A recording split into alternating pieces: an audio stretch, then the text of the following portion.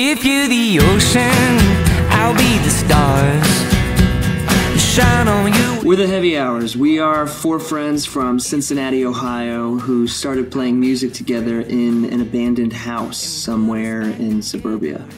Uh, band practice would start at midnight and go until 3 a.m. We'd order pizza, make loud noises, and argue with each other about everything.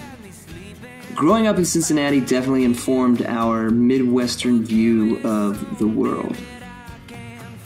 One of the first conversations we had as a band was about the lack of rock guitar music in the world, and we have sort of set out to help bring that back. The people that we're trying to impress uh, is ourselves. And uh, we're always writing and recording and uh, just trying to beat the last thing that we did.